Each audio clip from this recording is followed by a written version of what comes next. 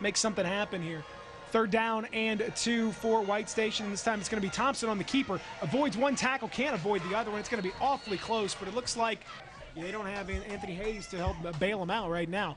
Sweep this time. Uh, it's going to be Adrian Ross who tries to get through, but great discipline that way at that time. Gang tackling uh, from the Saints. Now we're under 35 seconds. They still haven't gotten the playoff. Now Jerry Thompson is going to carry the ball himself over the right-hand side, trying to get away. But Conner Powers, Conner Powers wow. Like a missile. He came out in 18 seconds to play in the half. They're up seven to six. Only one timeout left, though. Thompson now a back to pass, looking deep, has some pressure, fires over the middle. And that ball is going to be picked off. Conner Powers picking that.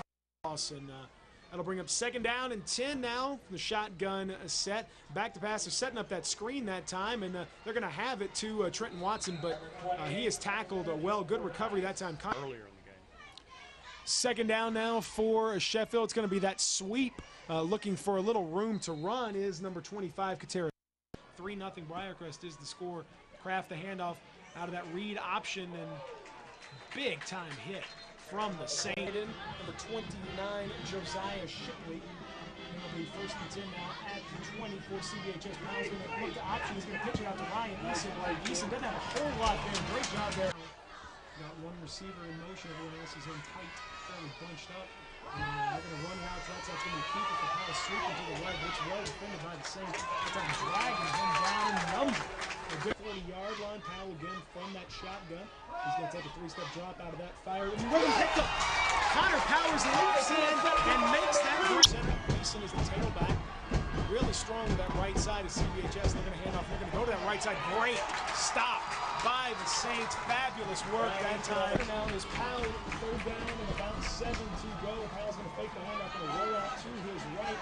Ray Martin puts some great pressure on and forcing him to run outside, and he's going to be stopped. Conner Powers laying a huge shot.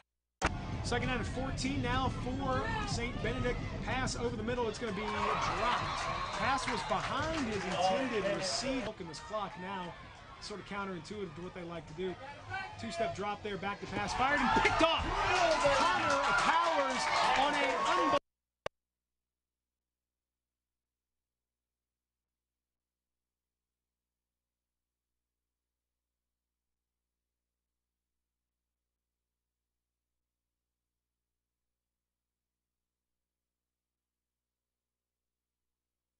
gun set they've been using all night long with Trell Gardenhire as the quarterback. He'll fake the handoff to McClure, keep it himself over the edge. Pretty good coverage there. He'll get four.